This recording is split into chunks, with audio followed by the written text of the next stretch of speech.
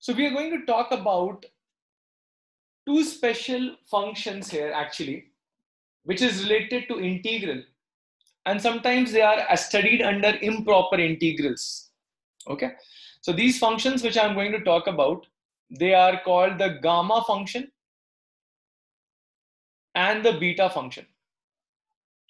Gamma function and the beta function. These functions are sometimes studied along with improper integrals because they can be expressed as improper integrals. Now, many people ask me, what is an improper integral? It's just a name given when your limit of integration is either becoming infinity or minus infinity. So improper integrals are of this nature, zero to infinity, okay? Or you can say, you know, minus infinity to infinity, because these are examples of improper integrals. Now, many many questions arise how do we evaluate it? So it's not a difficult thing. You evaluate these integrals by assuming that the upper limit is t and then take a limit of t tending to infinity. That's not a difficult thing so you do not need a, a special uh, you know uh, discussion on it. Uh, we'll we'll understand most of the stuff when we are trying to talk about these two functions. Now what are these beta functions and gamma functions? Let me start with a gamma function so gamma function is basically defined as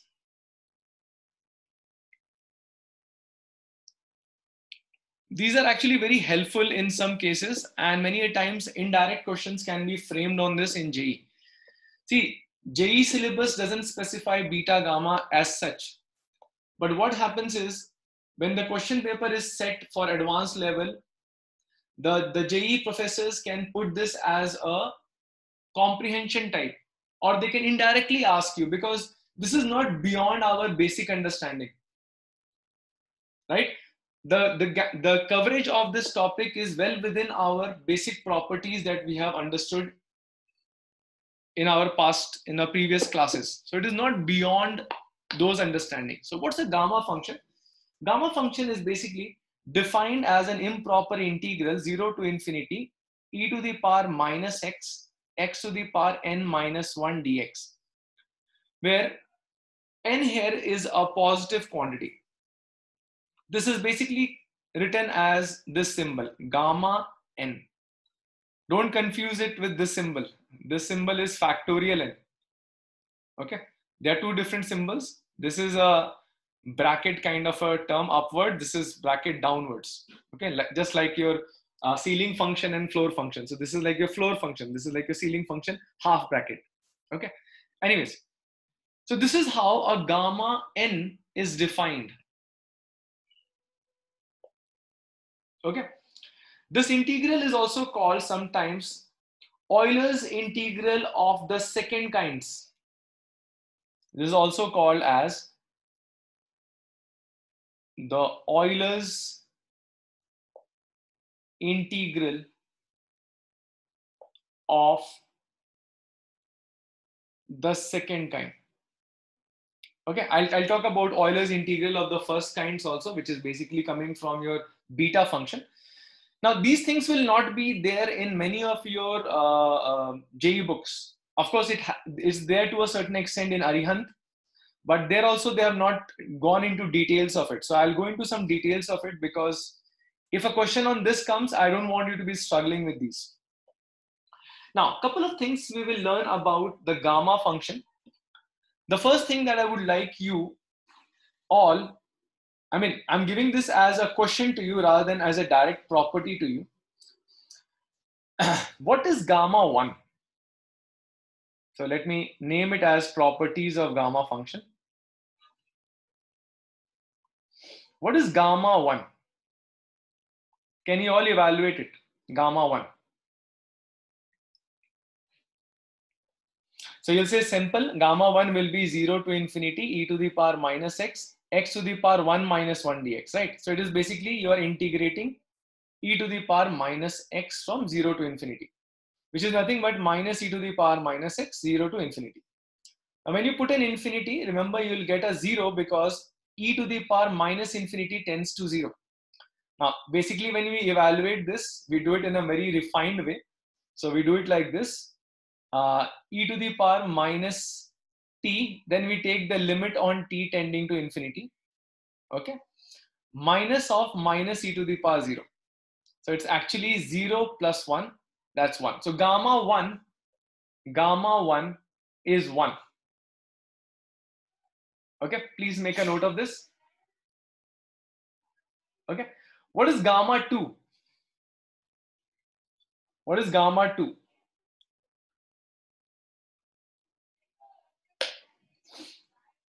Okay, in the interest of time, I'll only do it else this thing will take a lot of time. So e to the power minus x, gamma 2 will be x to the power 2 minus 1. 2 minus 1 is this. Okay.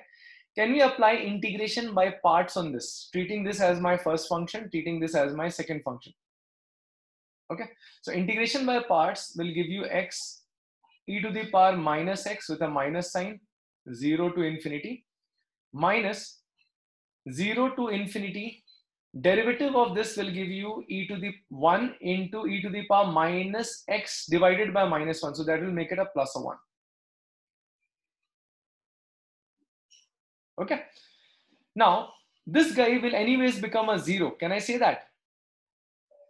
Of course, with infinity, the e to the power minus x will become angry and become 0. With 0, x will become angry and become 0. So either case, it will be, become a 0. This is nothing but the previous result that we had derived it is actually 1 again. So gamma 2 is also 1. Okay. Now, gamma 3, if you evaluate, I'll not do the evaluation process for you. Gamma 3 will come out to be 2.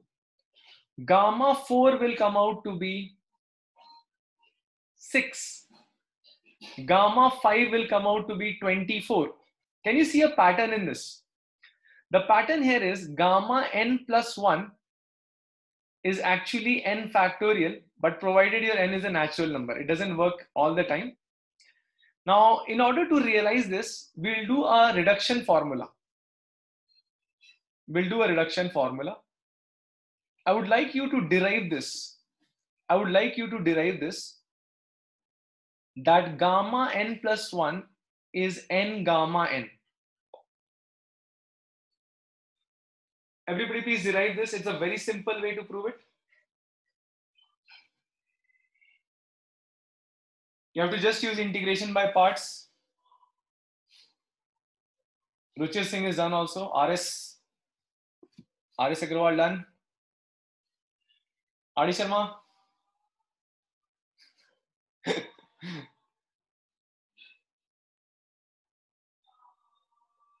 okay, so very simple. If you see your left hand side, left hand side is gamma n plus 1. n plus 1 is 0 to infinity e to the power minus x into x to the power n plus 1 minus 1. Correct? Which is actually x to the power n only. Okay. Let's apply integration by parts on this, treating this as a u, treating this as a v. Uh, guys, do let me know if I'm going fast. Okay. Sometimes I don't realize I'm going fast, so please let me know. Okay, yeah, so x to the power n, integration of this will be minus e to the power minus x, 0 to infinity, minus derivative of this will be n x to the power n minus 1 e to the power minus x with a plus sign here, dx 0 to infinity you can clearly see that this guy is going to be 0. No doubt about it because infinity will make e to the power minus x 0 and 0 will make x to the power n as 0. So either case you'll get a 0 and this will give you n times 0 to infinity e to the power negative x x to the power n minus 1 dx which is actually actually actually gamma n gamma n. So this is how you get n gamma n which is your right hand side. Okay. Now because of this only we were seeing this property happening so if i ask you what is gamma 1 you could actually use the formula gamma 1 or you can say gamma n plus 1 if you compare it your n plus 1 is actually 0 correct so gamma n gamma 1 will actually become what is gamma gamma 1? 1. 1. It is because it will become. What does it become? 0 gamma 0. And how, how much did we get for gamma 1? Got 1. 1, sir.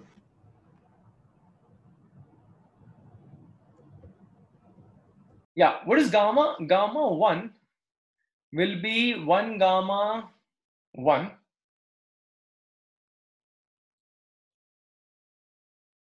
one second did we oh sorry sorry sorry. Yeah so now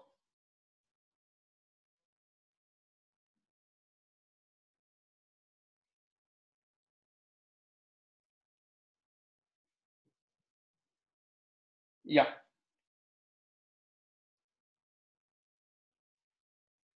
So 0 gamma 0 should be 0 right did we, did Only we defined. Oh. i'm sorry So isn't it only defined for n greater than zero? Ah, sorry, sorry. We, we can only uh, come from gamma 2. Yeah, yeah, yeah. Sorry. Because if you have gamma 1, then what will happen? It only be uh, gamma gamma 1 basically is integral 0 to infinity e to the power uh, minus x x to the power n minus 1, right?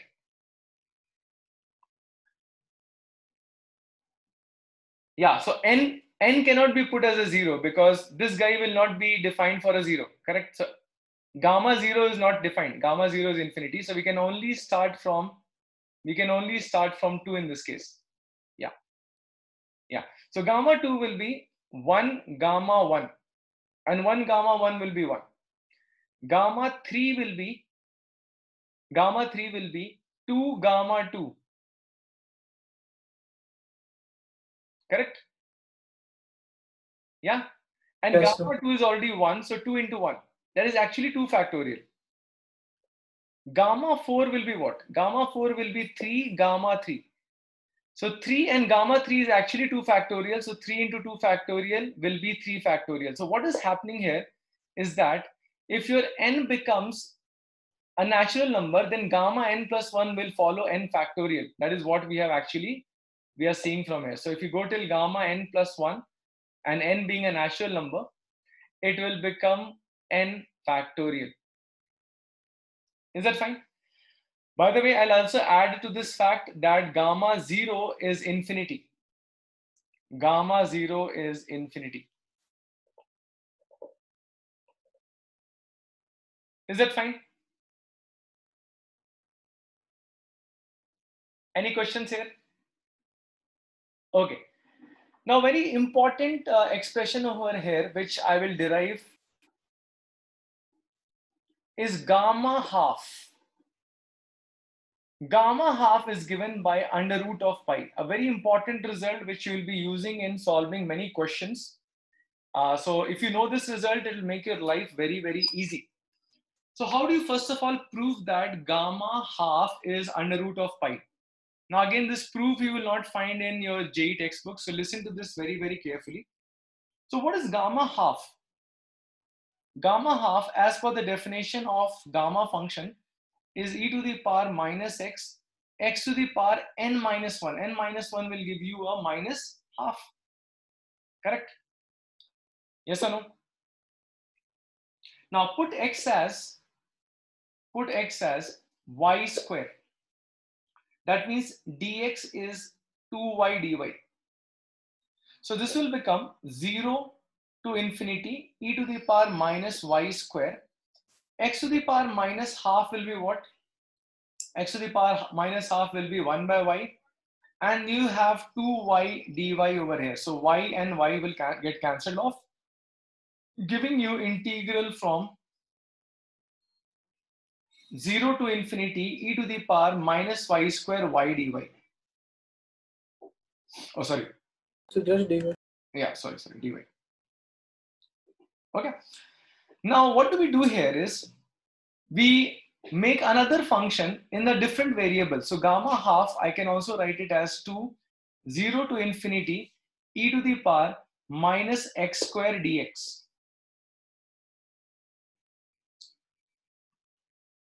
Okay. Fine. Now what do we do is we multiply both the gamma halves. So we'll multiply this gamma half and this gamma half. So it'll become gamma half square. And this will actually become 4 times 0 to infinity e to the power minus x square dx into 0 to infinity e to the power minus y square dy. Okay. Listen to this, which basically gets converted to a double integral, which we can write integral 0 to infinity, again 0 to infinity, e to the power negative x square plus y square dx dy. So how does that work? Okay. Sorry. So how did you like put in integral then integral? See, basically what is happening is when you are integrating one of them, you are keeping the other as a constant because both are integ getting integrated under different differentials. One is getting integrated with respect to x, other is getting integrated with respect to y. Correct. So when you write like this, you first integrate with respect to x, keeping y constant, and then you integrate the y thing. Both will give you the same result. Both will give you the same result. Okay. now there is something very interesting here. Conversion of this double integral into polar coordinates. So right now you are seeing Cartesian coordinate will convert it to polar coordinates. Now what is polar coordinates? We all know in polar coordinates we express things in terms of r and theta. So let's say if you have r at an angle theta, okay, and you just change it to let's say dr dr length, okay, and there's a small change in d theta. So what will happen? it will create a dx dy area over here. This will be your dx dy area over here. Now this same area dx dy, let's say this is your, okay, dx dy area. So what I'm going to do is I'm going to write the same dx dy area as, what is this length? This length is r d theta. And this length is dr. So the same expression dx dy can actually be written as r dr d theta. Now, you will learn later on that this conversion actually comes from the concept of Jacobians. Okay, so Jacobian is an expression which converts, which converts the transformed coordinates differential in terms of the original differentials of the variable. For example, let's say I'm now using, I'm now using r and theta. So my, this term would actually be dr d theta. And this Jacobian is basically an expression which is given by dou x by dou u, dou x by dou v, by dou y by dou u, dou y by dou v. Now you don't have to know this actually. I'm just giving you a, a, brief idea how it works. So let's say you want to convert dx dy, let's say this is your dx dy. In terms of dr d theta, you'll realize that your Jacobian will come out to be r. How? Very simple. Let's say, let's say your x is r cos theta and y is r sin theta, correct? What is dou x by dou r? Dou x by dou r, that means what is the derivative of this with respect to r? So you'll say cos theta. Correct? What is dou x by dou theta? This will be minus r sine theta. Similarly, dou y by dou r. Dou y by dou r will be sine theta. And dou y by dou v means derivative of this with respect to theta, which is r cos theta. If you evaluate it, you will get r cos square theta plus r sine square theta, which is actually your r. So what it says is that you can convert dx dy into r dr theta. Now this is something which is very extra. I'm telling you, you don't have to know this. Even you don't require the proof for this, but I'm just giving you the proof so that you are convinced how does dx dy become r dr d theta. So one way is to look through Jacobian angle, which is a future concept for you. Other is by directly seeing this area. So any dx dy area can be obtained by doing r d theta multiplied with dr. Now, how does it help to solve this question? So if you see this integral, if you convert everything to r square, so this will become negative r square because you're converting all the things to polar coordinates. dx dy will become r dr d theta. Now, in order to con- cover all the space from 0 to infinity, you would agree with me that r will go from 0 to infinity and theta will go from 0 to 0 to pi by 2. See, what are you doing here? You're trying to cover all the area in x from 0 to infinity, right? And in y also from 0 to infinity. So if I have to play the same role in terms of r, r will go from 0 to infinity, an angle will go from. So you're, you're trying to cover this entire area, right? So your angle will go from 0 to pi by 2 only. Correct? So this gets converted to a double integral in terms of r and theta. So it will be from 0 to infinity and theta will be from 0 to pi by 2. Now integrate this as two separate integrals, keeping your theta separately and keeping your r term separately. Okay. Now this can be easily be integrated if you take your r square as a k. So r dr will become k by 2 dk. Correct? So it becomes 0 to infinity e to the power minus k r dr. Sorry, my bad. Not k dk, just dk by 2.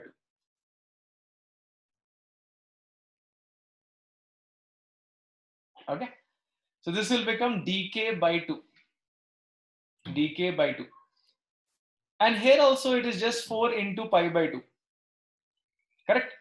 Now what is the integral of e to the power minus k? From 0 to infinity we have just seen it is actually gamma 1 gamma 1 is 1 so pi pi will go off sorry uh, 4 4 will go off and pi into 1 will be left off in other words you have got gamma 1 gamma half square as pi so gamma half will be under root of pi. Just remember this result. You don't have to go into details of how they are coming because it goes into the concept of double integrals, which you have not been exposed to before. But you'll definitely thank me when you are going in your first year of engineering and your professor is teaching you all these things. Then you'll remember that, oh, Akhil sir had taught this in our class 12. So, so like, can you find gamma of a negative number as well? No, no, no, no. Gamma can only be found out for a quantity greater than zero. Okay. Now, other gammas are very difficult to find out. For example, if you say what is gamma 3 by 4, okay, that would be slightly difficult to find out. We always deal in multiples of half gamma half, gamma 1, gamma 3 by 2, because that is what we need for our problem solving. You'll realize soon that we don't require any other gamma than these values. Either you need gamma of natural numbers or you need gamma of uh, you know uh, multiples of half so gamma half would be required gamma 3 by 2 5 by 2 7 by 2 those will be required so beyond that i would not like to go but however i'll give you certain properties which probably some of them will try to prove some of them i'll leave uh, up to you to prove. The next thing that i would like you to understand is this function. Can i go to the next page?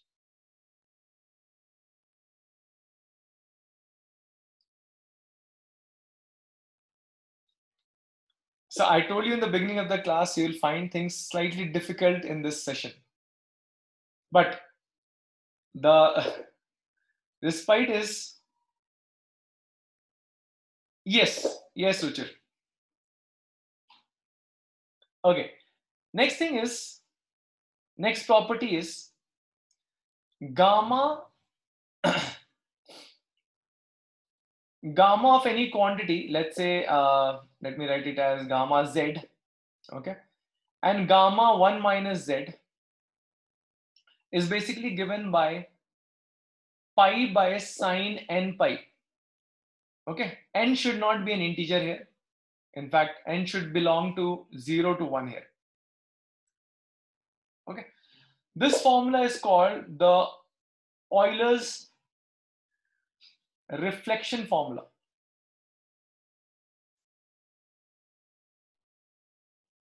Now, how does this come? How does this formula actually come? Let's talk about the, the formula. Uh, see, we all know, we all know that e to the power, I'll just try to prove it And again, the proof is not required, only the result is supposed to be known. Let's say we all know that e to the power, I can write any function, let's say uh, minus t. Okay, can I write it as a limit, which is limit n tending to infinity, 1 minus t by n n to the power of n? You all know your limits, right? 1 to the power infinity form. Can I obtain e to the power minus t from this uh, limit? Yeah? Everybody's convinced? Okay. So if I say gamma z, as per the definition of gamma z, gamma z is what? 0 to infinity t to the power z minus 1 or you can say let me write it like this e to the power minus t into t to the power n minus 1 sorry z minus 1 since i have written my n as a z i can write it like this. Correct? Now what is e to the power t? I can replace this with e to the power t. So i can write this like this. Limit n tending to infinity 0 to n this term i'm replacing it with this term. Okay? So i can write it as 1 minus t by n to the power n. Okay? And e to the power uh, sorry and t to the power z minus 1 i'll copy as it is. Okay? Anybody has any doubt so far no problem with this.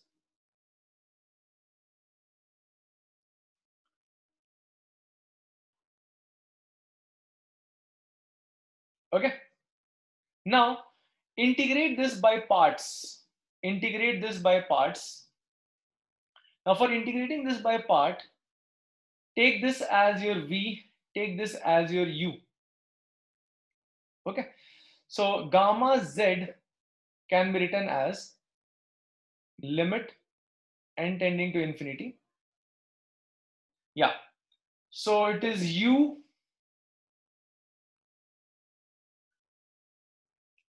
integration of this will be t to the power z by z. Okay.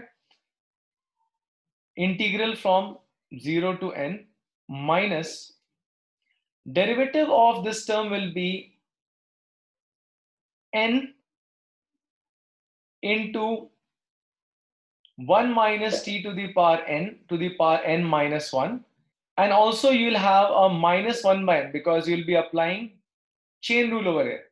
So this will become plus and this will become n. And integral of this will be t to the power z by z dt from 0 to n.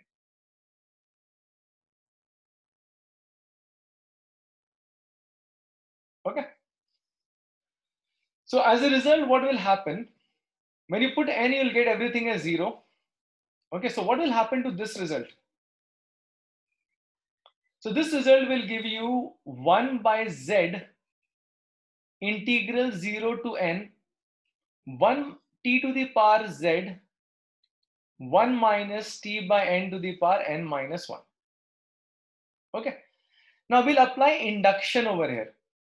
We'll apply induction over here. Can I say if I do this operation n times, what is going to be the ultimate result that you're going to see? if you integrate it by parts n times n times you will figure out that your gamma z will ultimately boil down to limit n tending to infinity this 1 by z i will write it as n by nz then you will have n minus 1 by nz plus 1 then you will have n minus 2 by nz plus 2 this you can try it out at your end also. In the interest of time i will just write down the final result. And finally you will be left with this times integration 0 to n t to the power z plus n minus 1 dt okay so i've done it once but you have to apply it n times to check that this is the gamma n expression gamma z expression that you will be getting Okay. This term, this term, if you see, it is actually n factorial on the top. And you have n, n, n occurring n times, so n to the power n will come. Correct? And you will have a product of, you will have a product of, product of 1 by z plus k. Okay? Times integral of this. Now what is the integral of this? Let me write k from 0 to 0 to to n right or n minus 1 yeah 0 to n minus 1 what is the integral of this? Integral of this is going to be i'm just doing it separately. T to the power z plus n minus 1 plus 1 okay 0 to n. So it will become n to the power z plus n by z plus n. Am i right okay so what we can do here we can write this as integral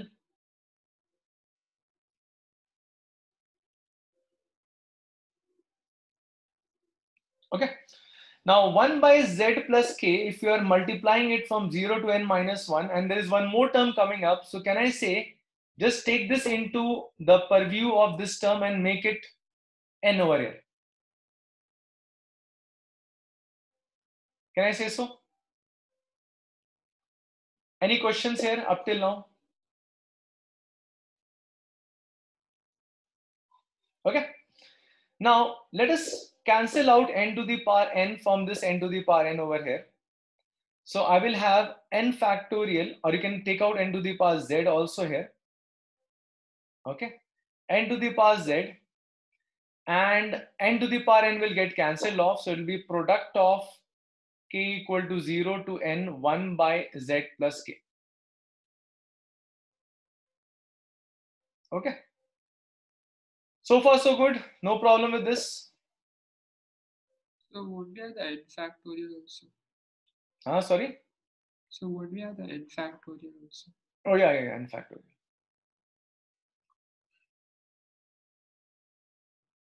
Okay.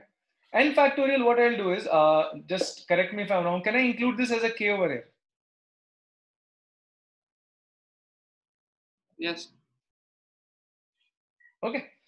Now I can write this as n to the power z by z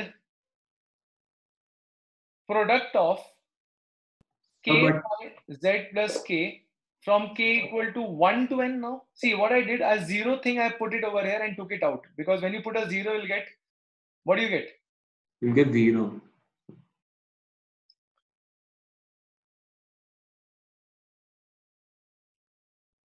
So n factorial won't include the k equal to 0. Sorry, sorry. So n factorial won't include when k is equal to 0. So we'll have to pull it out anyways. No, is this step from here to here? Is it any any mistake is there? Just tell me. Oh, sorry. This this will be this will remove a zero. Yeah, sorry. This will be one. Any any mistake from here to here? Just tell me.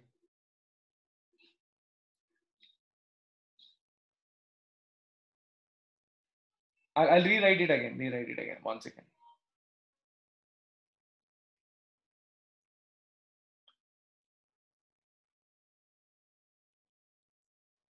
This will be k equal to zero. Okay. Now what I'm doing is I'm breaking this up as n to the power z into n to the power n. So n to the power n, n to the power n will go off. n to the power z will come out. Okay. And we'll have n factorial also product from 0 to n 1 by z plus k. So far so good, no problem with that. Yes, sir. Okay. Now what I'm doing is when you put a zero here, it'll come, it'll become 1 by z.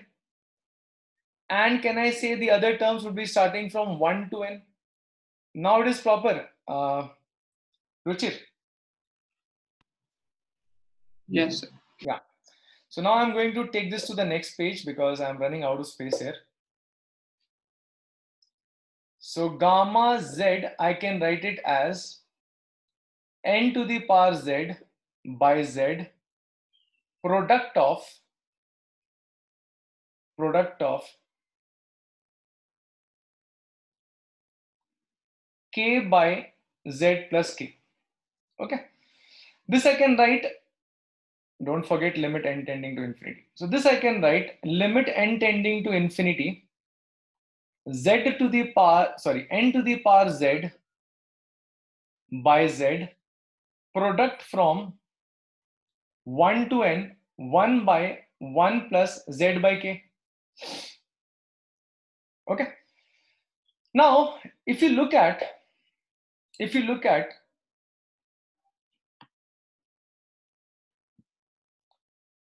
the property that we had discussed, gamma n plus 1. Gamma n plus 1 is n gamma n, right? Right, we have seen this property, correct? So, if I replace my n with, if I replace my n with minus z, can I say gamma 1 minus z is minus z gamma minus z? Correct? Correct? Yes or no?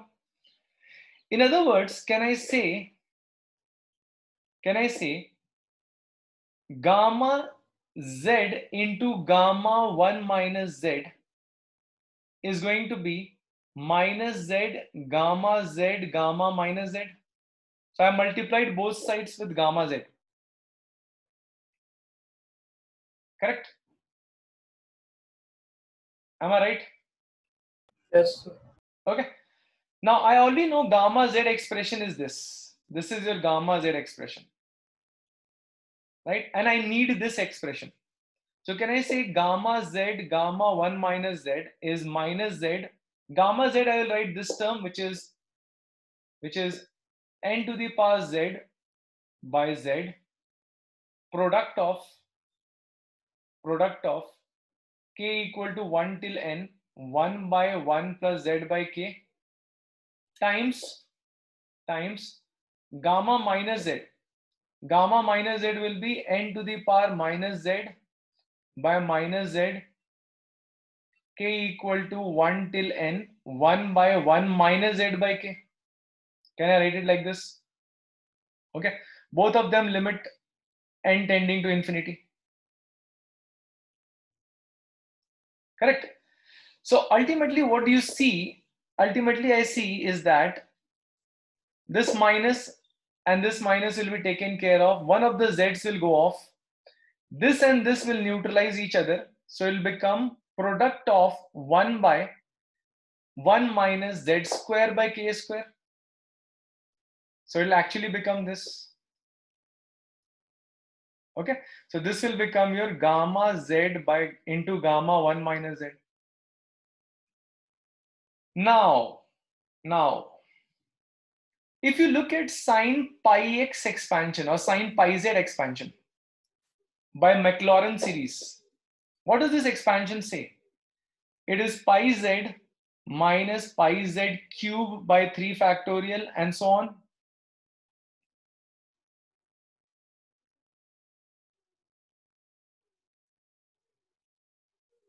Correct? Am I right?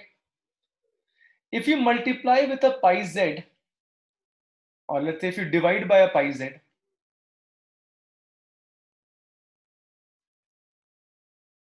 okay. You would realize that you will end up getting 1 minus 1 minus pi z square by 3 factorial plus pi z to the power 4 by 5 factorial and so on. Okay. Now this term is what? This term, basically, you can write it as 1 minus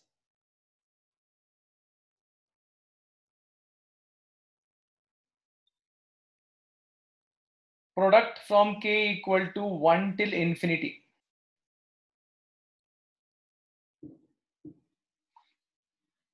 Okay.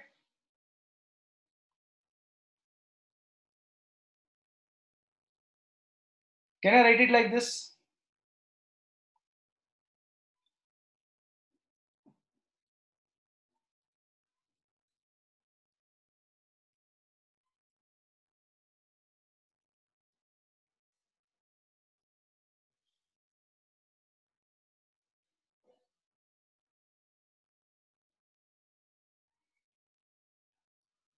Can I write it like this?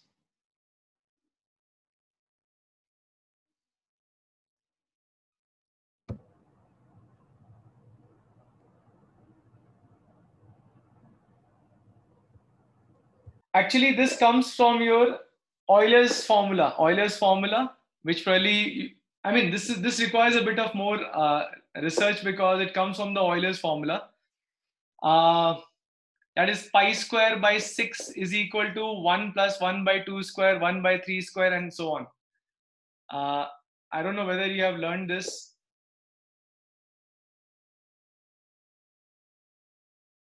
This is pi square by 6.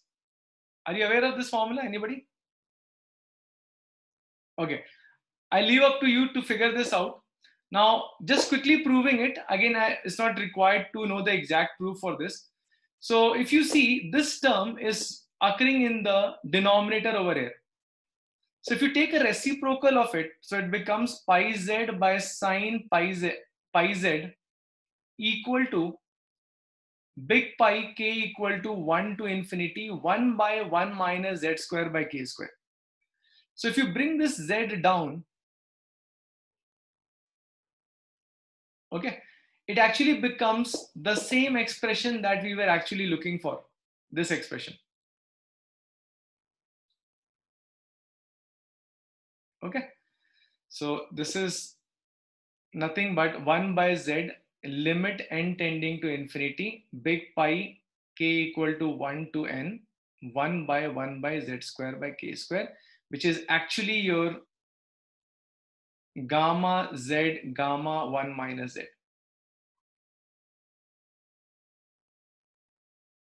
okay now this is something which i would like you to prove out i've given a hint how to do it i think in past also i have discussed this with you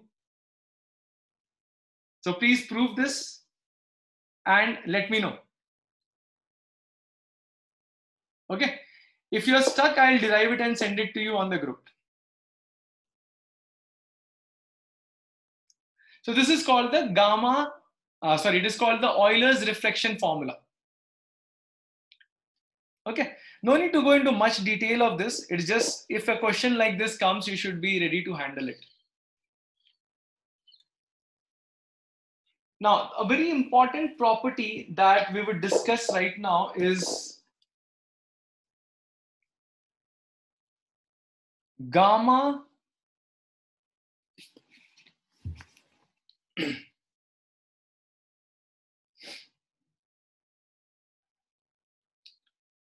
m plus 1 by 2 gamma n plus 1 by 2 by 2 gamma m plus n plus 2 by 2 is integral 0 to pi by 2 sine to the power mx cos to the power nx. Okay. M and N should be positive over here. Now, how to prove this? I'll prove this when I talk about beta function. As of now, let us note it down. We'll prove it when we are doing beta function.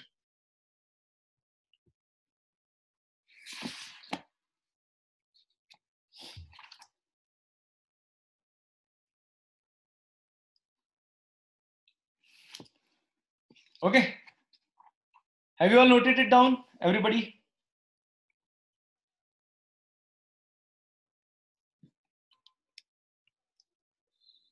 Okay. Let us take some questions on whatever we have done so far. else these concepts will not stick for long. Let us evaluate. Let us evaluate a very simple question.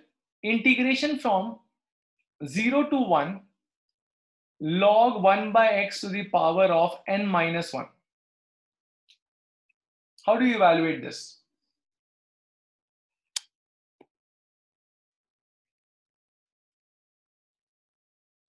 Or let me make some values over here. Let's let's uh, let's say I make a value 5 over here.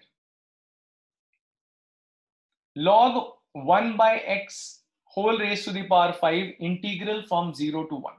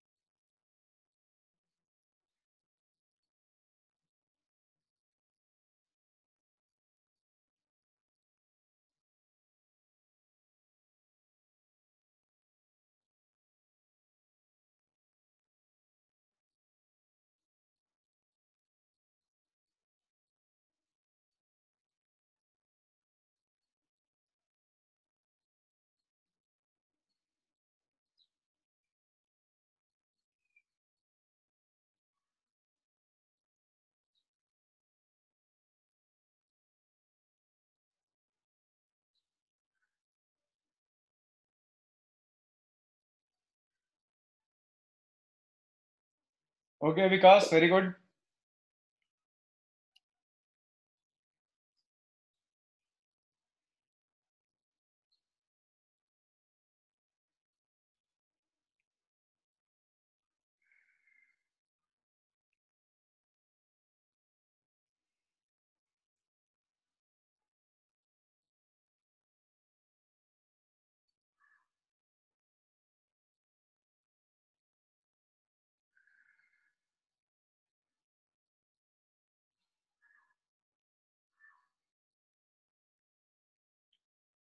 Only Vikas could solve it?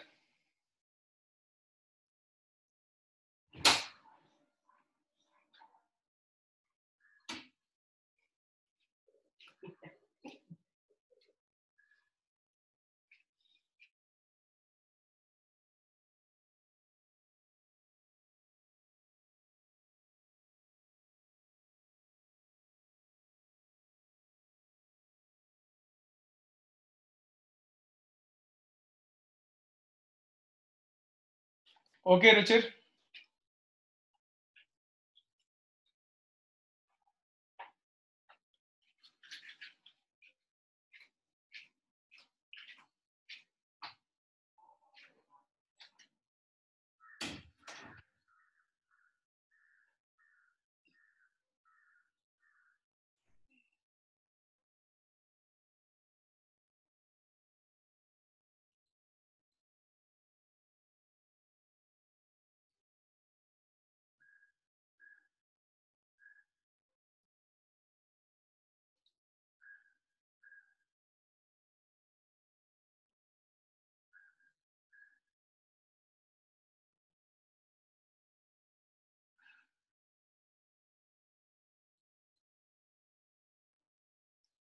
Okay, so what do we do in this case?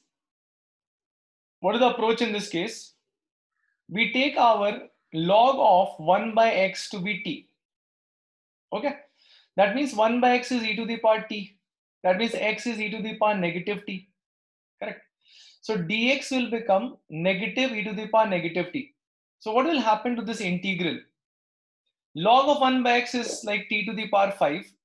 dx is like e to the power negative t with a negative sign dt. Now what happens to the limit of integration? Limit of integration will actually become from minus infinity to 0. Check it out.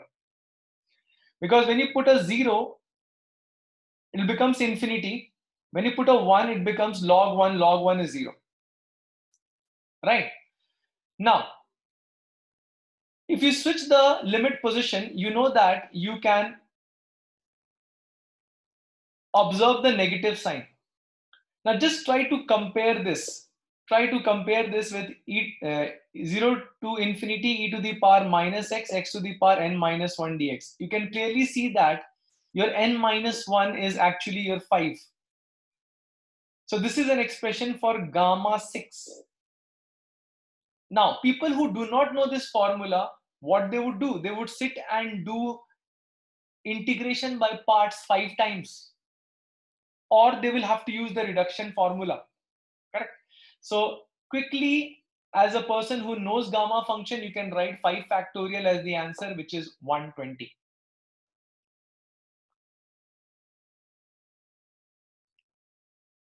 are you getting this point? So it's very easy to solve this question if you are aware of the gamma function.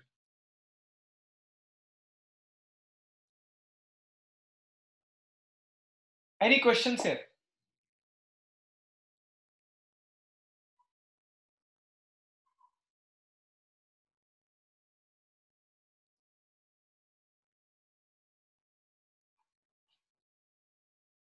Okay. Meanwhile, keep thinking about the proof for the previous problem. I'll, I'll discuss it towards the end of the today's class. Next is your beta function.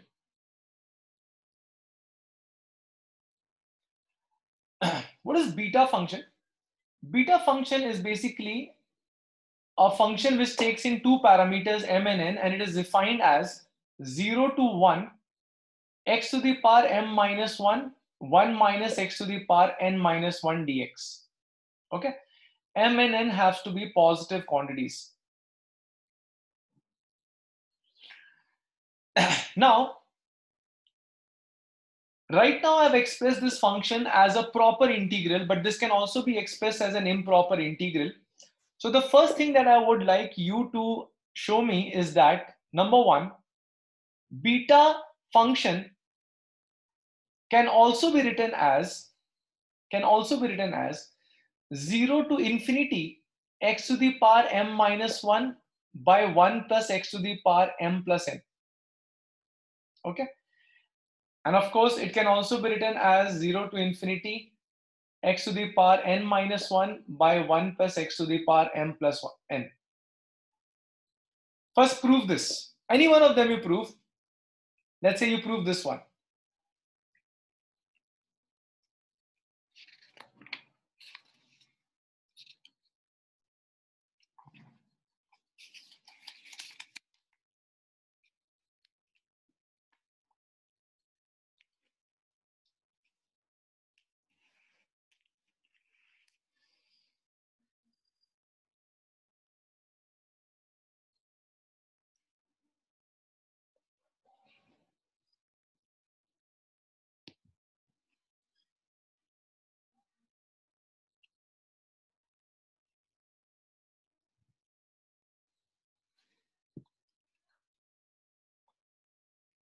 So this could be a question in itself.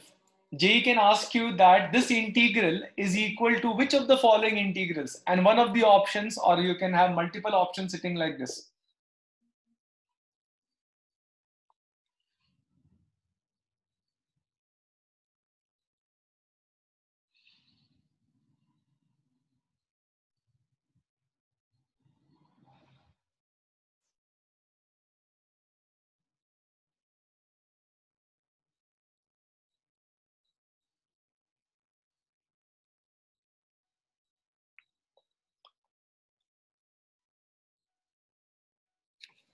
Okay, let, let, let me take this up. First of all, proving this and this equal is very easy because you can always show that beta mn is same as beta nm. Okay, how do you show that? By use of King's property. So by King's property, you can write one of the integral, let's say 0 to 1 x to the power m minus 1, 1 minus x to the power n minus 1 dx as 0 to 1, 1 minus x to the power m minus 1, 1 minus 1 minus x whole raised to the power of n minus 1 dx.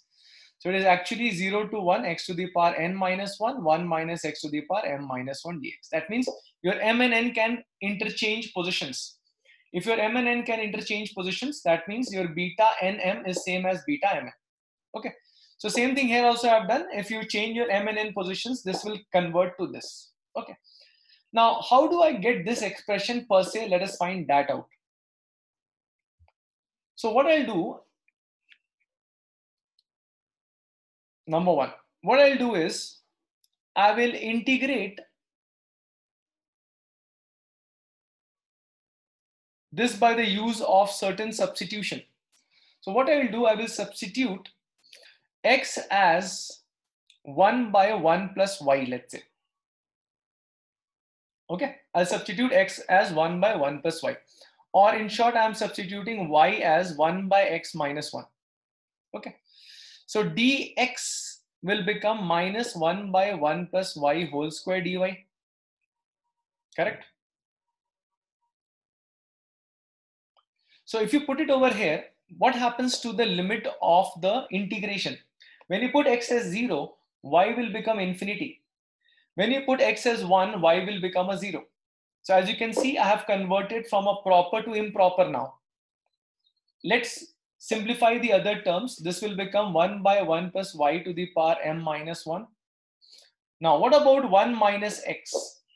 1 minus x would be 1 minus 1 by 1 plus y, which is actually y by 1 plus y, whole raised to the power n minus 1.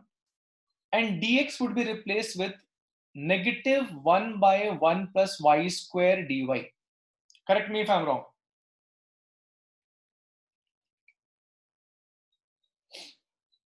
Okay. Negative sign could be observed by flipping your limits of integration. So make it 0 to infinity instead of infinity to 0. Numerator will have y to the power n minus 1. While in the denominator, you can check you will have 1 plus y to the power m plus n. And since there is nothing in the name of the integral, uh, sorry, nothing in the name of the variable, I can put this back to this. Okay. Which is anyways same as 0 to infinity x to the power m minus 1 by 1 plus x to the power m plus n.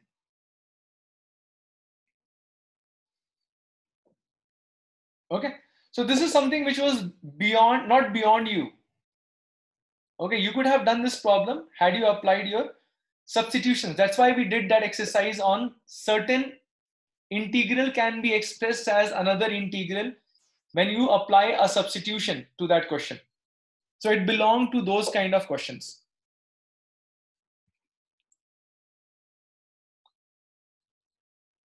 Okay. Now, in your Arihant book that you, you must all be having, many of you are following Arihant book, they have not derived this, they have not proved it. Okay. So let's move on to the next property.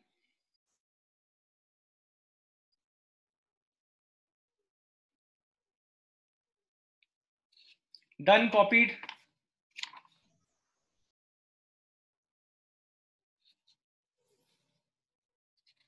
Anybody wants me to scroll it somewhere?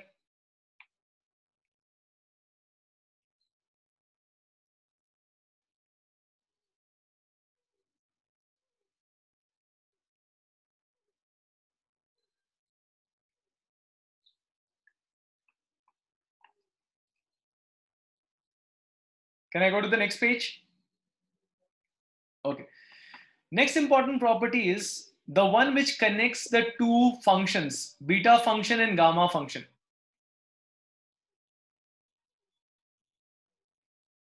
Okay.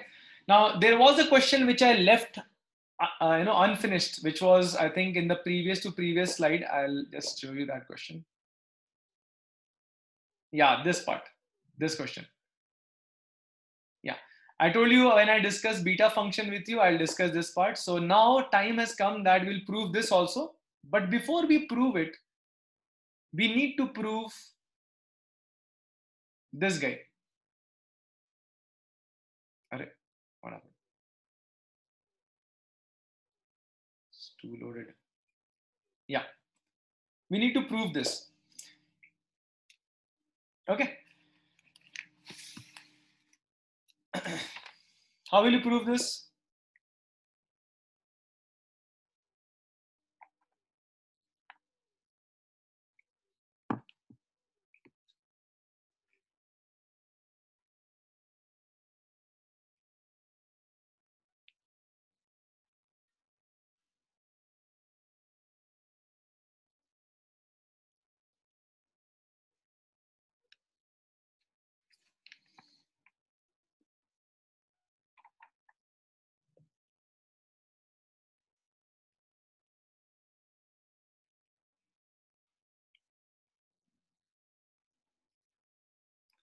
Okay, let's let's go back to our basic definition of a beta function.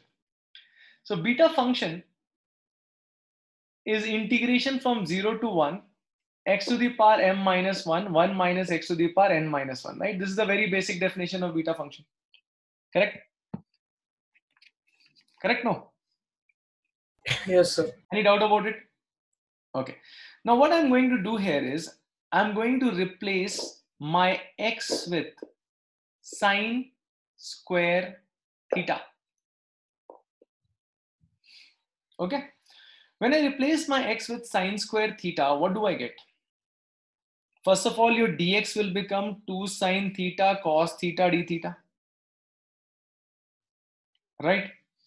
That means this entire integral becomes 0 to pi by 2 this will become sine to the power 2n minus 2 theta d theta 1 minus sine square will become cos square. I'm sorry. 1 minus sine square will become a cos square. So it will become cos to the power 2n minus 2 theta d theta. And this term why am i writing d theta? Yeah. This term will become 2 sine theta cos theta d theta. Correct? In other words your beta mn i can write it as 2 times integral 0 to pi by 2 sine to the power 2m minus 1 theta cos to the power 2n minus 1 theta.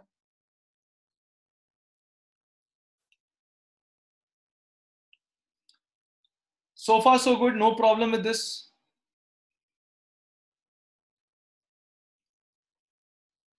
Anybody has any problem with this? Okay. So I would like you to note this down because this is yet another conversion of beta function. So very important, please note this down.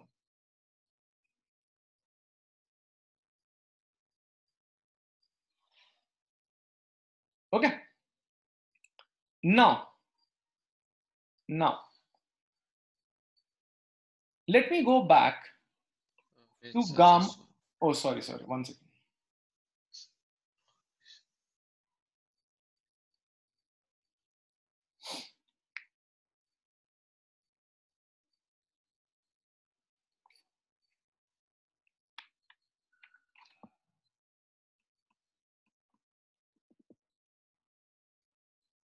Done, Mehul?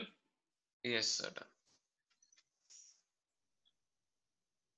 Guys, how are you finding this? Difficult Yes. So, or extremely difficult? okay, don't worry. I'll tell you which points to focus on, which points not to focus on. Because uh, normally I see the bash and prove it. Okay, if I'm, I mean, I don't, I don't want to say this on the recording, but when I when I see a batch is not able to understand a simple thing, then I'll, never prove these things because it'll end up, you know, blowing up their mind.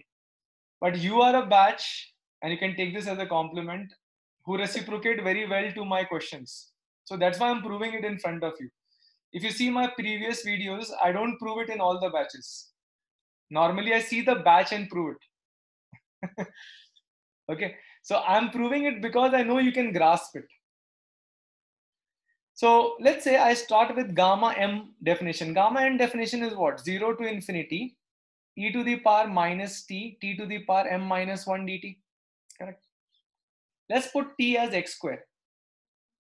That means your dt is 2x dx. Okay. So can I write gamma m as 0 to infinity e to the power minus x square t to the power will become x to the power 2m minus 2 and dt will become, I'm sorry. Yeah, sorry, sir. dt will become 2x dx. So it will become 2 times 0 to infinity e to the power negative x square into x to the power 2m minus 1 dx. Correct? Okay. In a similar way, I can say gamma n could be written as 2 times, I'll just change the name of the variable to y.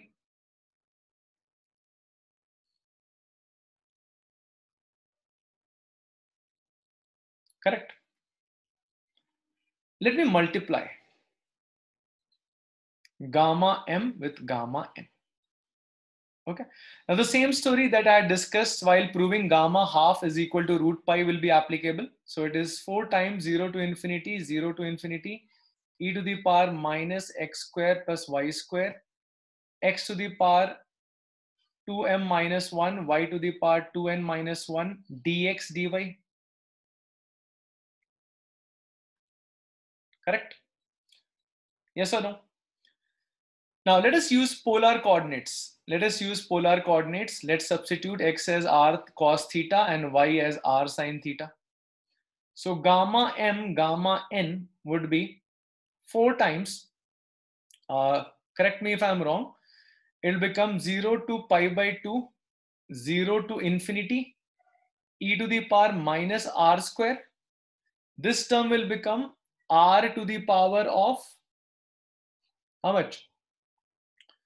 Uh, sum of these two, right? So 2m plus 2n minus 2 into cos theta to the power 2m minus 1 sine theta to the power 2n minus 1 into dx dy. dx dy was r dr d theta. Remember the Jacobian was r. Correct. Now one of these r's you can drop and change this power over here. Okay. So I'll write once again. So this you can write it as, uh, again I'm splitting it up. 2 times 0 to pi by 2. All the term containing theta, I will bring it to one side. Okay, d theta. And all the terms containing r, I'll bring it to one side.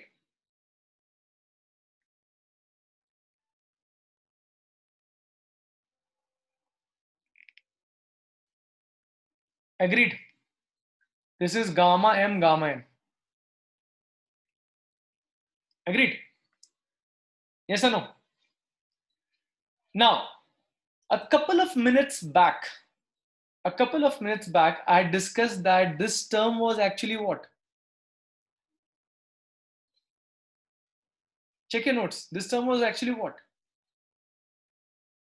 So beta mn. Beta mn. Correct? This is gamma m, gamma n. And what is this term? Gamma n plus n. This is actually gamma m plus n. Okay. Why? Because you can substitute your r square back as a x. Let's say if you put r square back as an x, correct? Then dx or you can say dr is dx by 2r. Correct. So this will become 2, 0 to infinity. Remember, x will also go from 0 to infinity.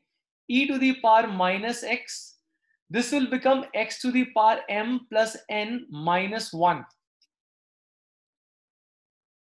Am I right? Why? Because if I put a 1 by r over here, see, dx is what? dx is, I'll, I'll go back to the term again. So it is r to the power 2m plus n minus 1. dx is what? Or dr is what? dr is dx by 2r. So this 2 will kill this 2. And this r will increase the power of this to minus 2. right? Minus 2 means you can write it as twice of m plus n minus 1, which is actually x raised to the power. This guy is x. So this is x to the power m plus n minus 1. Okay. So as Rahul rightly said, this is actually gamma m plus n.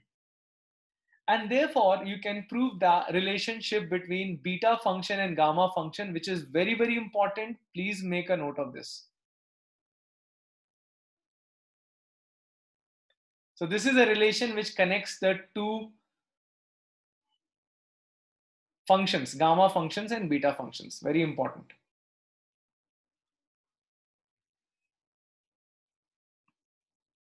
Got the point? Now, the proof which I left off in the previous slide, time has come now to prove it. So let's go back to that. So first, please make a note of this. You will not find these proofs in your any of the JEE books, let me tell you.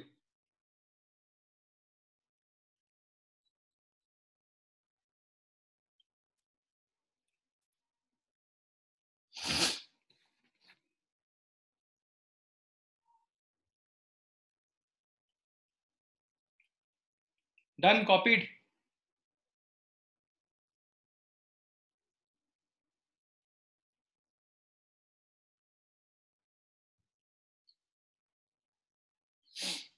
Copied, everybody?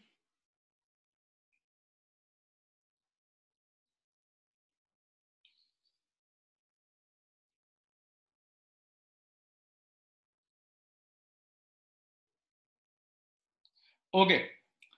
So the unfinished agenda was I had to prove that gamma m plus 1 by 2 gamma n plus 1 by 2 whole divided by 2 gamma m plus n plus 2 by 2 was actually integral of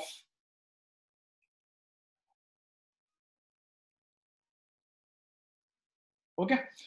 When n becomes natural number this formula is what we call as the Wallis formula. Wallis formula if m and n are natural numbers then this formula is what we call as the Wallis Walli I mean, you can call it by any name. I used to call it Walli when I was preparing Walli's formula. Yes, the proof is very easy. We had actually we have actually proved it. See, the proof comes from the fact that this term was actually written as 2 times 0 to pi by 2. Just check your notes. We had written like this, right? Correct? A little while ago, while I was proving the relationship between beta and gamma function, I wrote this, correct? Yes. And this term, now I have proved that this term can also be written as gamma m, gamma n by gamma n plus n. Correct? So what I'll do now, I'll make a very smart move. I will write this guy as some capital, or you can write it as m dash. Okay. This guy 2n minus 1, you write it as n dash. Correct. In other words, your m will become m dash plus 1 by 2 and your n will become n dash plus 1 by 2. You do one thing, you replace in terms of m dash n dash everywhere. So this guy will become m dash plus 1 by 2. This guy will become n dash plus 1 by 2. Denominator will become the sum of these, the sum of this two, which is actually m plus m dash plus n dash plus 2 by 2. On this side, you have a 2 that you bring it down over here. Okay? And this becomes 0 to pi by 2 sine 2m minus 1 was m dash. Correct? And 2n minus 1 was n dash. Now change your name of m dash n dash back to m and n because name doesn't matter. Okay? So change m dash back to m n dash back to n so you'll end up getting 0 to pi by 2 sine to the power m theta cos to the power n theta d theta is equal to gamma m plus 1 by 2 gamma n plus 1 by 2 by twice of the sum of these two which is m plus n plus 2 by 2 Very important formula, very, very important formula. Please remember this result. When m and n are natural number, this is basically called as the, the Wallis formula. Now, having said so, what are the things which we really need to take home from this one hour 15 minutes of you know hard work that we did? Few things only you need to take care. So i'll write a summary here just to you know give you a final sigh of relief Oh, oh my god sir you have taught so many things which some of them went above our head. So what actually you need to know from this entire exercise? Number one you need to know what is the definition of beta function and gamma function. Number one you need to know the definition which is 0 to infinity e to the power minus x x to the power n minus 1 dx. You need to know beta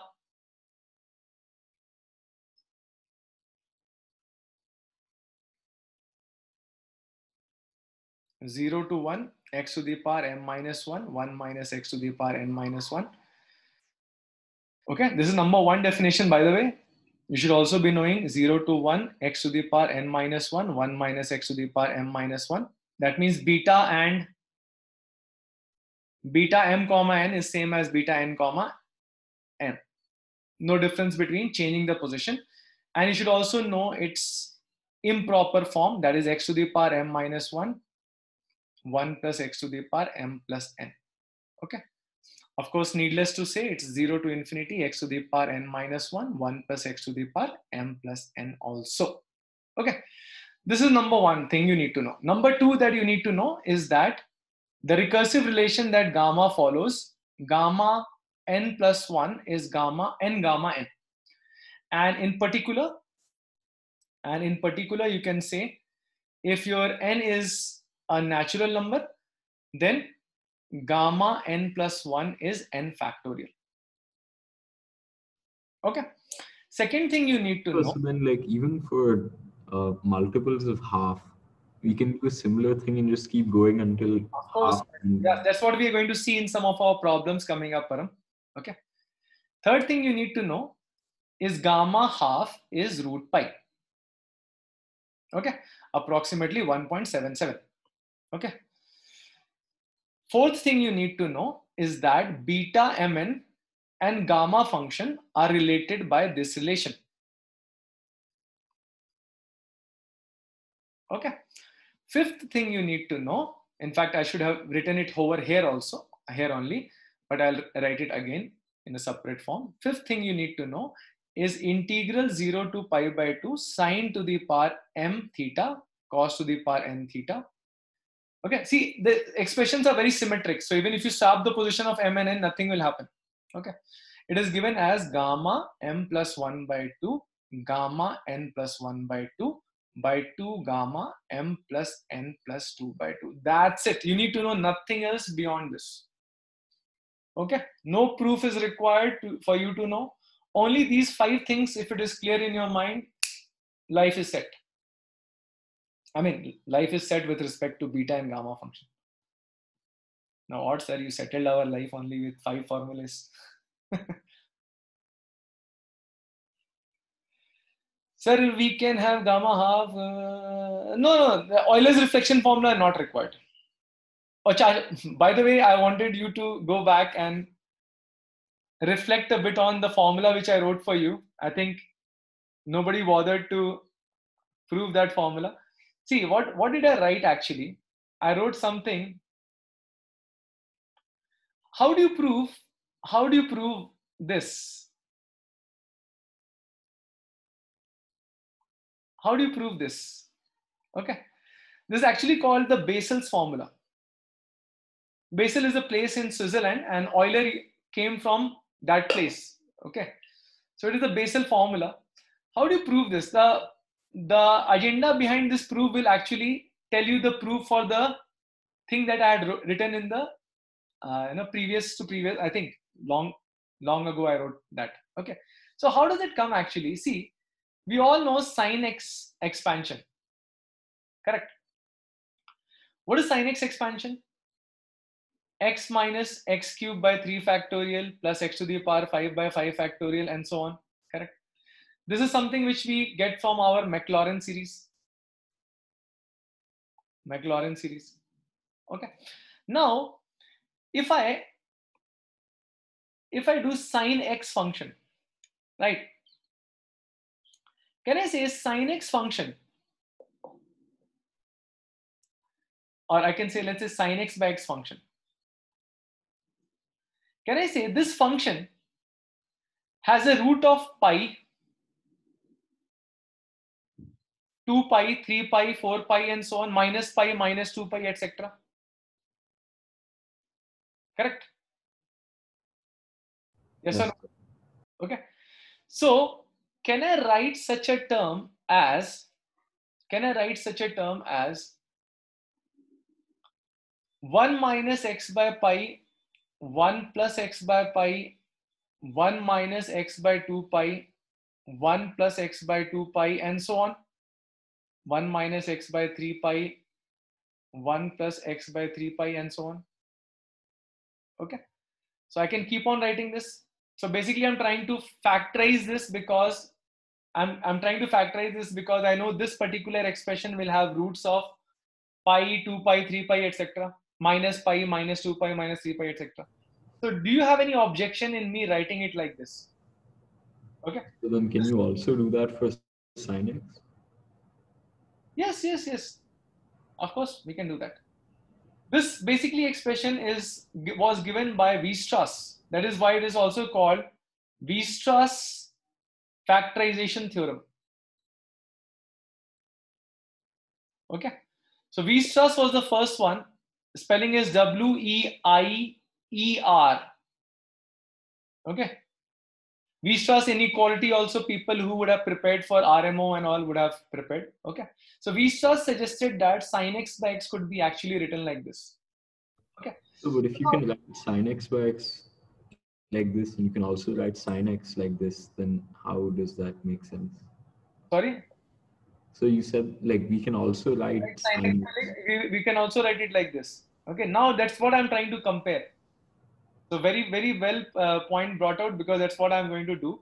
So if you divide this by x, you'll get 1 minus x square by 3 factorial plus x to the power 4 by 4, 5 factorial and so on.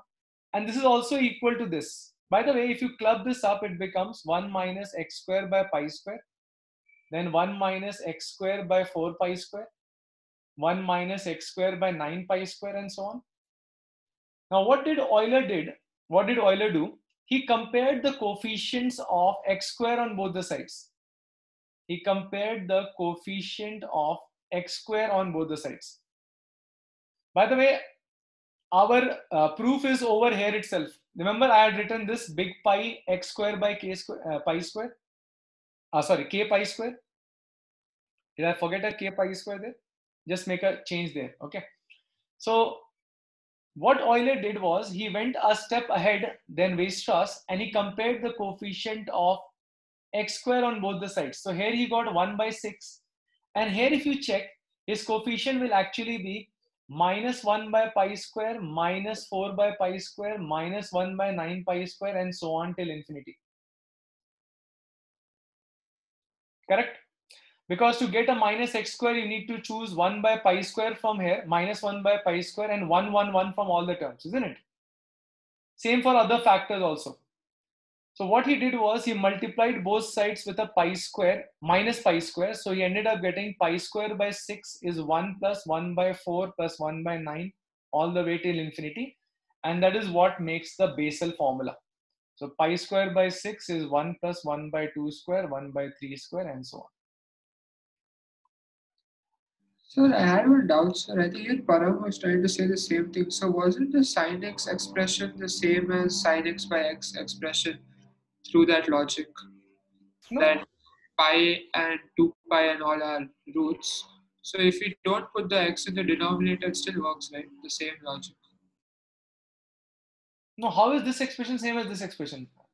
So the logic was that pi and 2 pi are roots, right? And then there's nothing in the x in the denominator, like that doesn't feature in, right? Mm-hmm. No, both will have the same set of roots, but that doesn't mean the expression will be the same.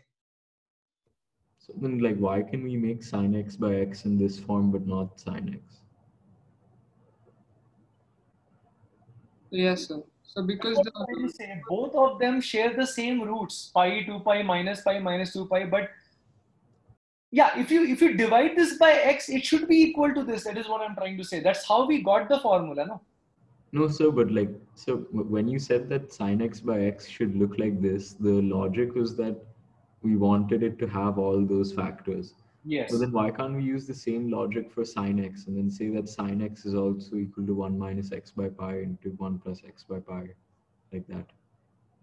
Because even sine x is only 0 at those same points. Okay, now from where did Weierstrass get this expression? He got this expression from the fact that as limit x tends to 0, your answer should actually give you a 1. So that will happen when you take the limit x tending to 0 over here. Does sine x do the same thing? No, sir. No, sir. Oh, sir. yeah. I'm sorry. Sin x as x tends to 0, in that case will give you a 1 in that case, which is wrong because sin x extending to 0 should give you a 0. Okay, so this is just an uh, expression which Weierstrass proved, but I'm not going into the proof of this, but I'm trying to justify why he actually chose this expression and why it is actually correct also, it works, and why your formula will not work. Yes, I understood, sir. Got the point? Good. So I think we proved the uh, Euler's reflection formula also, but this is just for your extra gyan here. I mean, nobody is going to pester you on that. Let's take few questions, but on the other side of the break. I think we all need a break.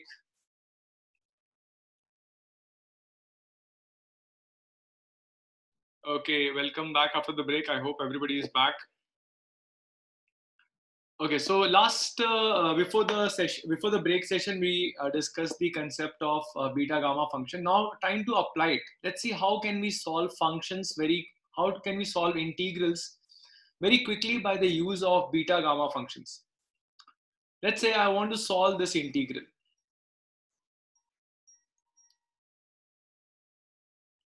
Oh, sorry.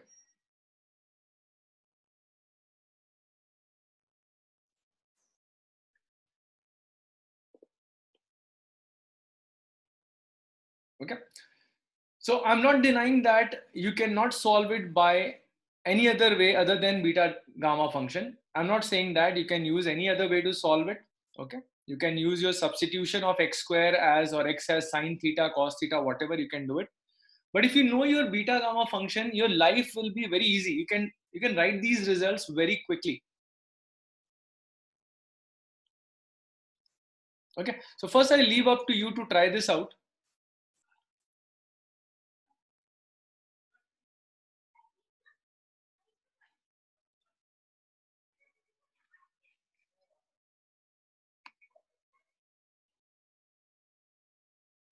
Actually, I gave you a hint. Yeah, you can try that out.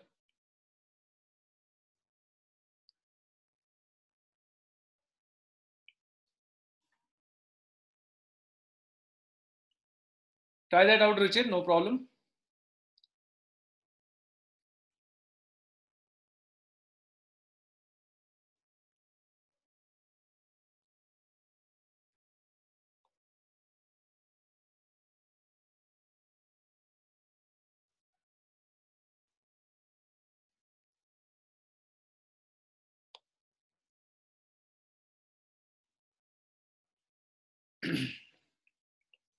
Okay, probably I should solve this question so that you can get an idea how to approach. See, Ruchir suggested substituting x as sine theta. Okay, fine, fine. I'll, I'll wait for some time.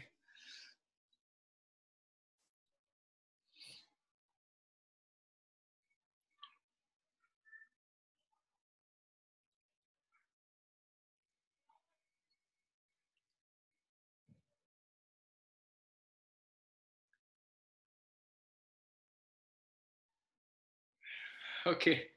So dx is equal to cos theta d theta, correct? So your limit of integration will become 0 to pi by 2. Uh, what does this become? This becomes sine to the power 6 theta. This will become cos theta to the power of half. Correct? Oh, sorry. Cos theta to the cos theta to the power Just cos theta. One. yeah sorry cos theta to the power of 2 d theta. Correct? Now if you see this term it would remind you of the integral 0 to pi by 2 sine to the power m theta cos to the power n theta d theta which was expressed as a gamma function like gamma m plus 1 by 2 gamma n plus 1 by 2 by 2 gamma m plus 1 m plus n plus 2 by 2 correct? Now here the role of m is being played by 6 and n is 2 over here. So as per the formula your answer will become 7 by 2 gamma 3 by 2 by 2 times gamma 5 correct? Now gamma 7 by 2 is actually 5 by 2 gamma 5 by 2 which is 3 by 2 gamma 3 by 2 which is half gamma half which is root pi. So this term that is the first term you can directly write it like this okay? Gamma 3 by 2 is half gamma half which is half root pi. Denominator is 2 into gamma 5 is 4 factorial which is 24 okay? So the answer to this question is going to be uh, let me just drop this 3 and write an 8 so 1 2 3 4 5 6 7 8 2 to the power 8 2 to the power 8 is 256 answer is 5 pi by 256 done. How quick it was. Okay. People who do not know this what they will do? They will apply that i know uh, when you have even powers on sine and cos remember we did a complex number approach? They will apply that thereby wasting a lot of time. Thereby wasting a lot of time. If you know this you can do it pretty quickly if you just know this formula. So this is the important formula here that proved very helpful.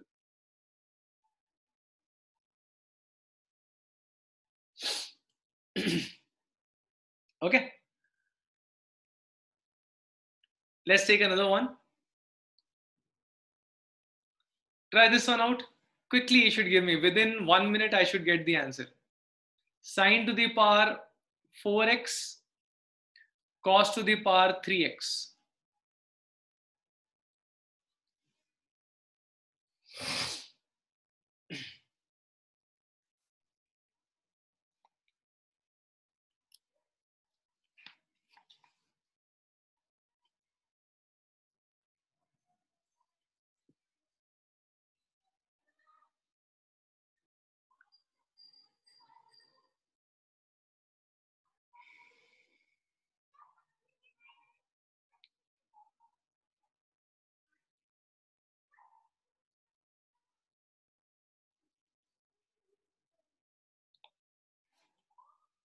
done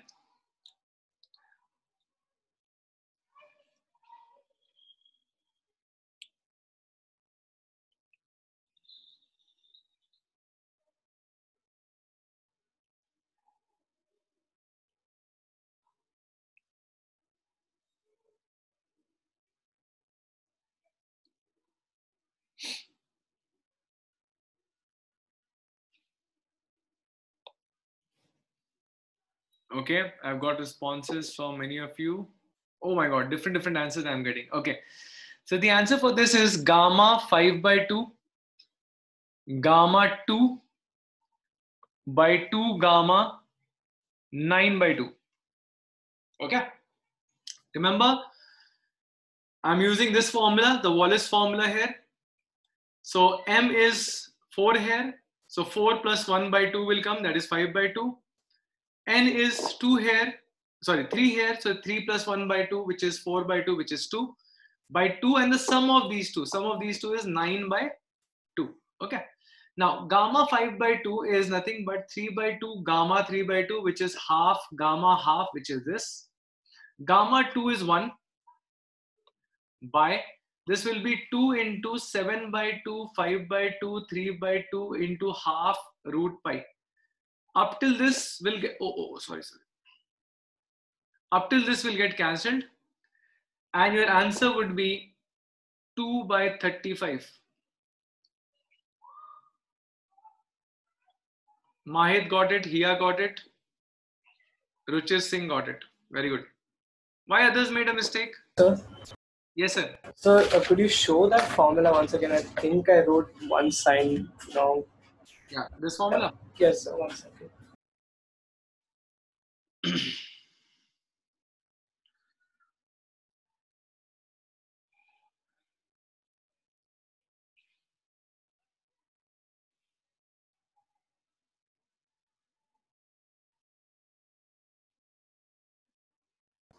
Yes, sir, thank you, sir.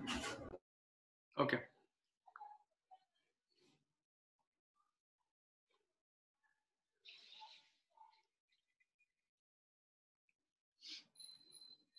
Prove that 0 to infinity x to the power n plus 1 by 1 plus x dx is pi by sine n pi. n should not be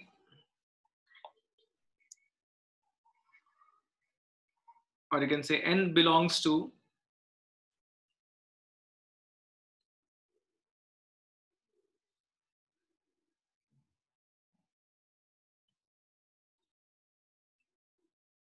zero to one.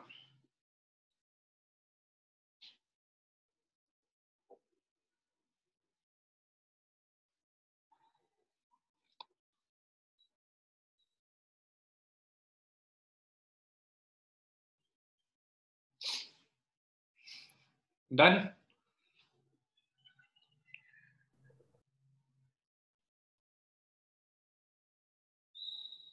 Yeah.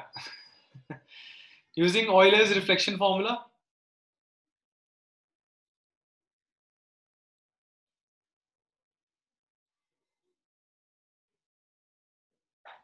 Which says gamma n, gamma 1 minus n is pi by sine n pi.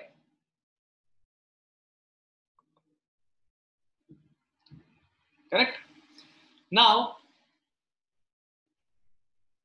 beta m comma n, we all know it's gamma m, gamma n by gamma m plus n, right?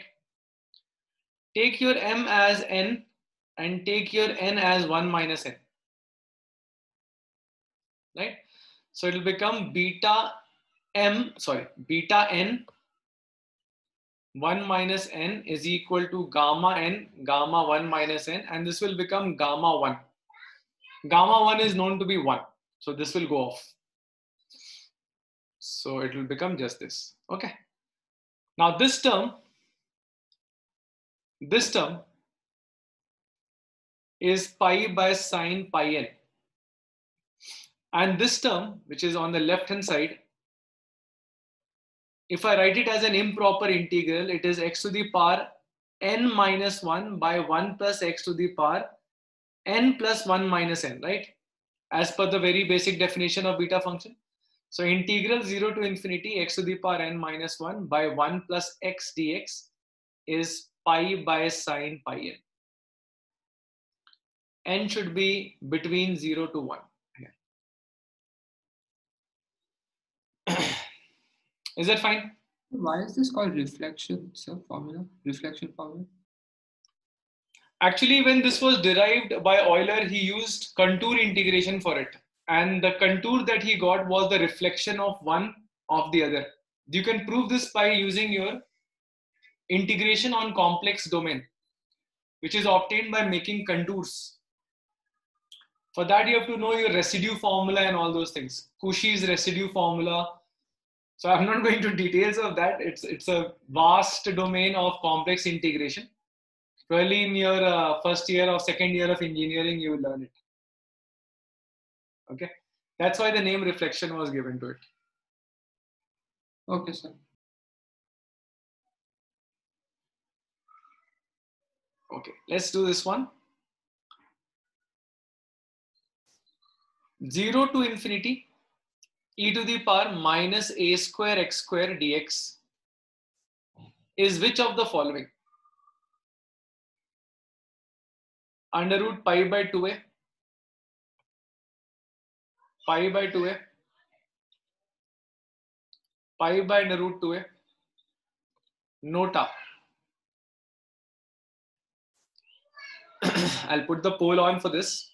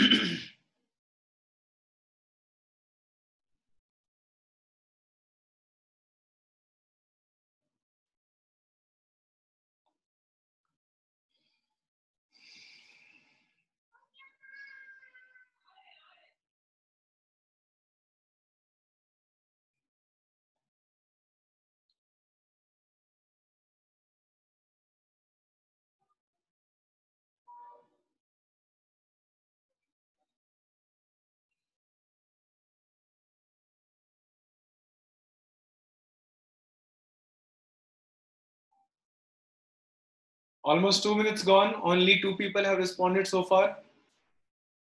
If you cannot see the poll, you can put it on the chat box.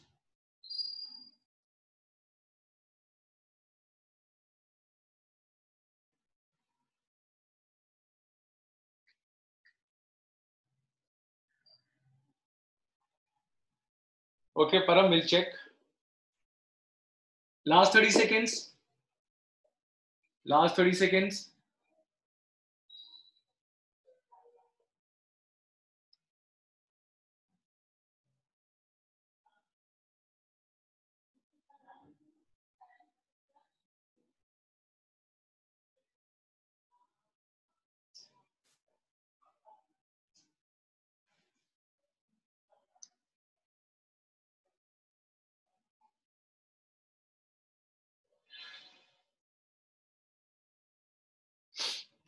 Okay, five, four, three, two, one, go. Okay, most of you have given the answer as A. Okay, let's check. So here we can go for a substitution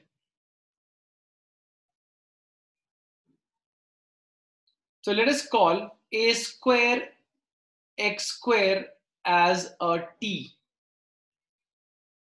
Okay. so your x square is 1 by a square times t. That means dx. First of all, here x is under root t by a. So dx will be dt by a square by 2x correct? So when you make this replacement, you'll end up getting minus t, dx is dt by 2a square, x is root t by a. So this will kill away this one of the a's. Okay. Now it becomes super easy question. It becomes 1 by 2a e to the power minus t, t to the power minus half dt. Compare this with n minus 1. So n will become half. So this is actually 1 by 2a gamma half. Gamma half is root pi. So root pi by 2a will be the answer. Option A is correct.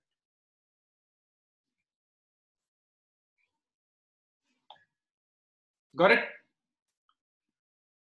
So Janta was correct. Option A was the right option. Okay. Evaluate evaluate log 4 to the power 5 times integral 0 to infinity x to the power 4 by 4 to the power x dx.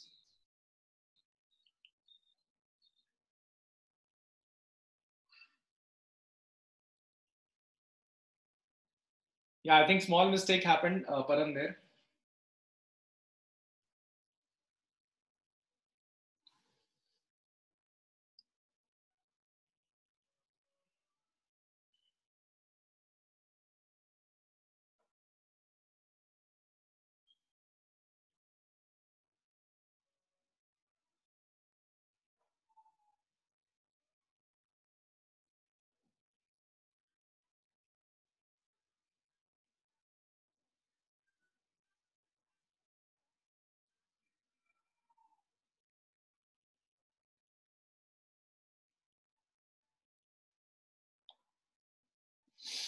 mm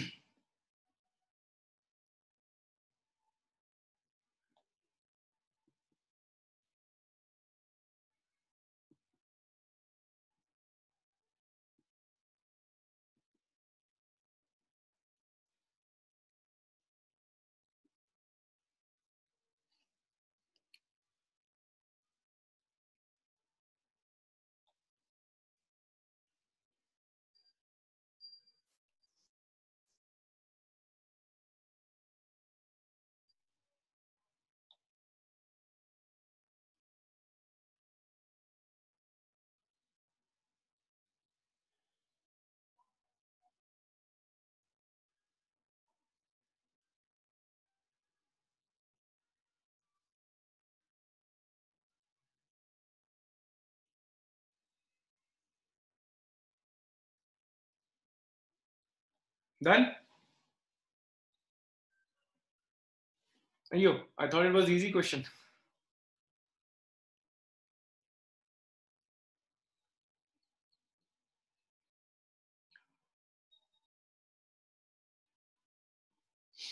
Nobody wants to respond.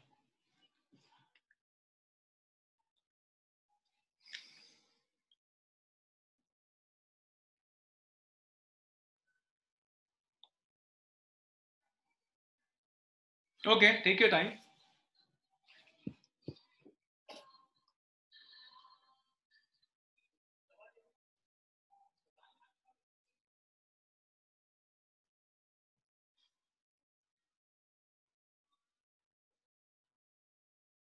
That's correct here. Very good.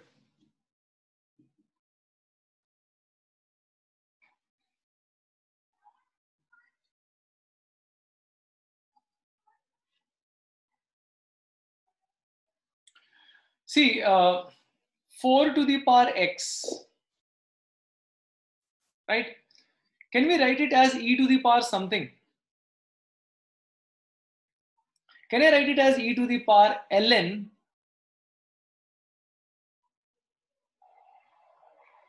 Can I write it like this? Okay. Can I write 4 to the power x as e to the power x ln 4? Right? Yes, sir. So ln 4 to the power 5, 0 to infinity, x to the power 4. This 4 to the power minus x, I can write e to the power minus x ln 4. Okay. Can I write it like this?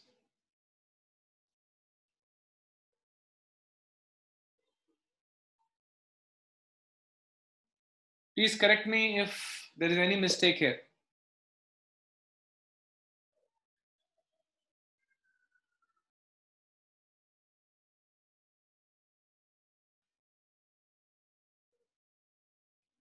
Okay. Now what I'll do is I'll take x ln 4 to be y. That means x is y by ln 4. So dx and dy would be the same. Sorry, uh, dx will be dy by ln 4. Okay. So what is the benefit that I get by doing this? I get ln 4 to the power 5. Okay. y will also go from 0 to infinity, no doubt about it. x to the power 4 will become y to the power 4 by ln 4 to the power 4. Okay. This will become e to the power minus y. dx will become dy by ln 4. Now we can clearly see that ln 4, ln 4 to the power 4 will get cancelled with ln 4 to the power 5. Ultimately leaving you with e to the power minus y, y to the power 4 dy, which is actually gamma 5. Gamma 5 is 24.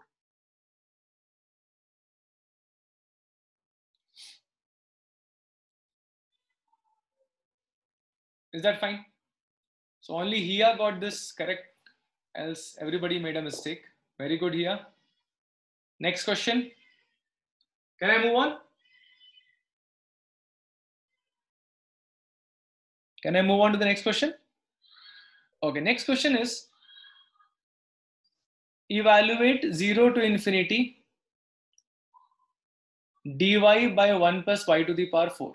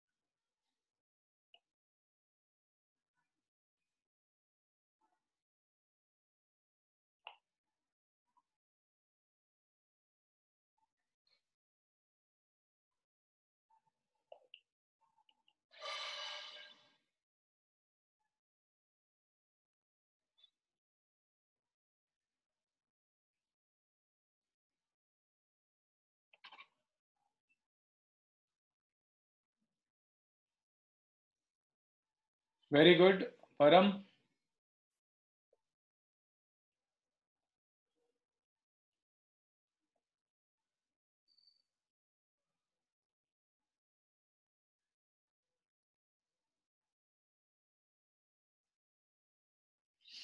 Okay.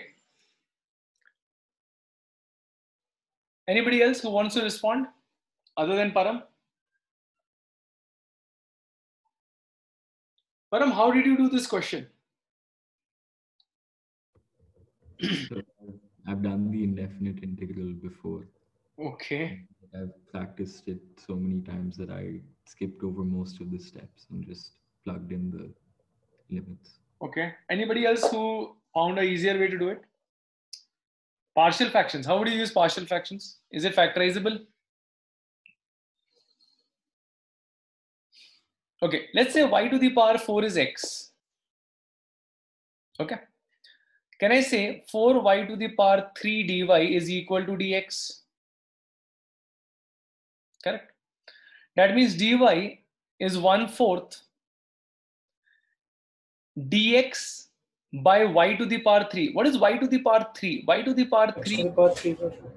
x to the power 3 by 4 correct if i place it over here it becomes 0 to infinity 1 fourth 1 fourth x to the power minus 3 by 4 dx by 1 plus x. Okay. Can i write this term as 0 to infinity x to the power 1 by 4 minus 1 correct compare this term with 0 to infinity x to the power n minus 1 by 1 plus x, whose result was already known because of the Euler's reflection formula, which was gamma n, gamma n minus 1. And n has to be between 0 to 1, which is very much satisfied by this guy 1 fourth. Okay. And this result is known as pi by sine n pi. Correct? So your answer will be 1 fourth pi by sine pi by 4 correct? That's nothing but 1 by 2 root 2 is this what you got? People who answered? Yes, sir. so do you realize how easy the formula becomes? Uh, the integral integral becomes because of the use of Euler's reflection formula see that that's where you will save time. I'm not teaching this for you know scaring you. I'm not teaching this for uh, uh, future. I'm teaching you so that if you know this you will if at all it is required you can save a lot of your time. Where others would be busy applying your indefinite integrals you will be able to solve this within one minute. Okay. Based on the same i would like you to ask this question. I think this you should be able to answer pretty quickly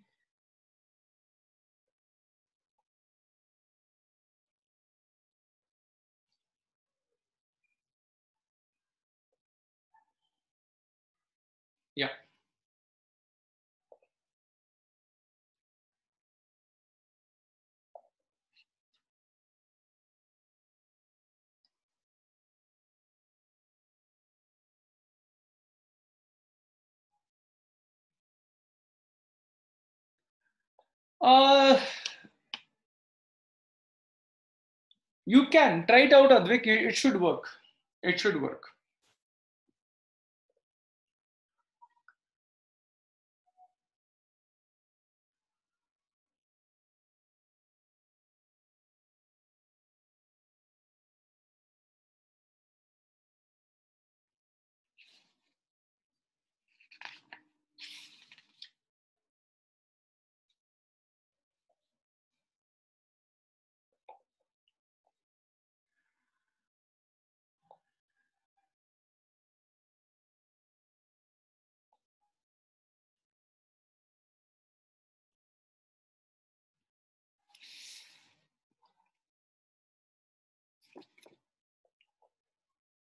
Done?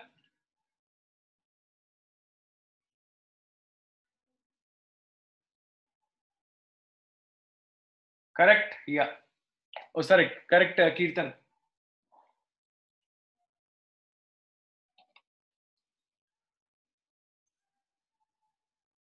Correct, yeah. Good.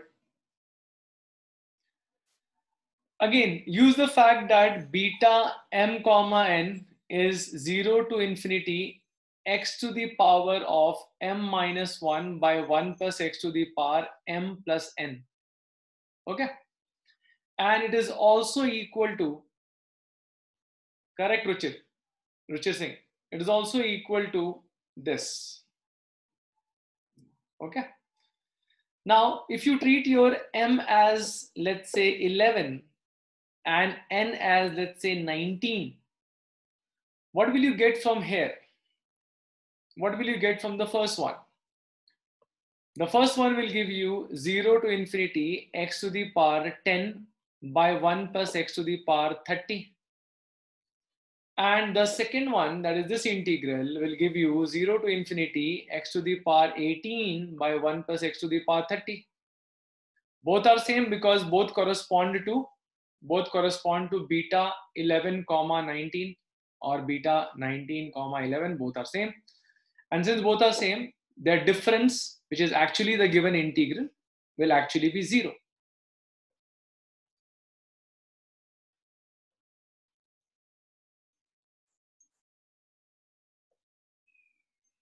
Is that fine? Okay.